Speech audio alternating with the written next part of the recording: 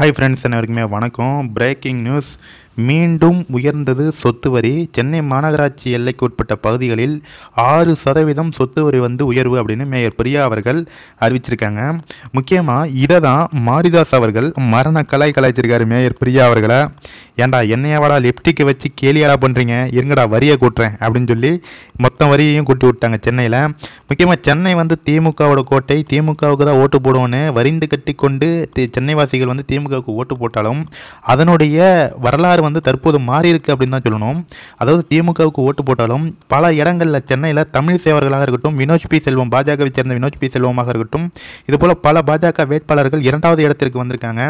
ஏன்னா இவங்க இரண்டாவது இடத்திற்கு வர அதாவது போ போன எலெக்ஷனுக்கு முதல் எலெக்ஷன்லாம் ஆயிரம் ஓட்டு ரெண்டாயிரம் ஓட்டு கூட வாங்காமல் டெபாசிட் கூட இல்லாமல் இருந்த பாஜக கட்சி தற்போது இந்த நாடாளுமன்ற தேர்தலில் இரண்டாவது இடத்திற்கு வரும் அளவுக்கு மிகப்பெரிய ஒரு வளர்ச்சியை அடைஞ்சிருக்குன்னா அதற்கு பாஜகவுடைய அசுர வளர்ச்சி காரணம் பாஜக தலைவர் அண்ணாமலை அவர்களுடைய எண்மண் எண் மக்கள் யாத்திரை அண்ணாமலை அவர்களுடைய அந்த பேச்சு அவருடைய துடிப்பு மிக்க அந்த அசுர வளர்ச்சி தான் இவ்வளோ பெரிய வெற்றிக்கு காரணம்.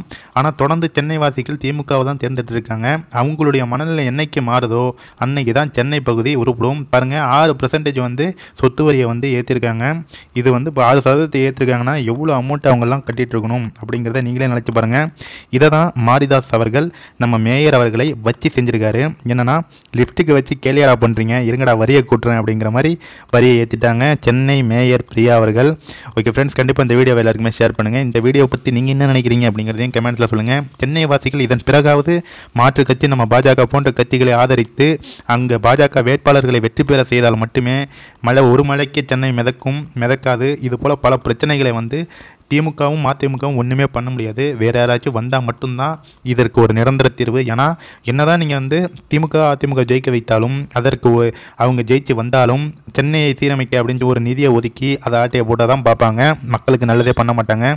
தயவு செய்து சென்னை வாசிகள் ஒரு தட்டையாவது பாஜகவுக்கு ஒரு வாய்ப்பு கொடுங்க.